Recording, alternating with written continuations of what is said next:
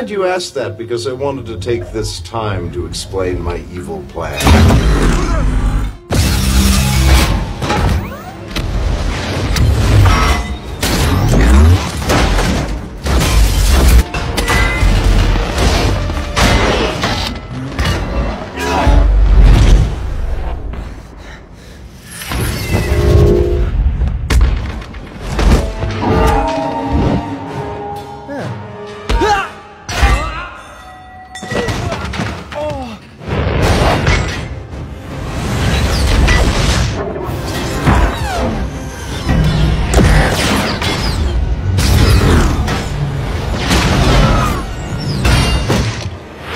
Uh, the vibranium's getting away.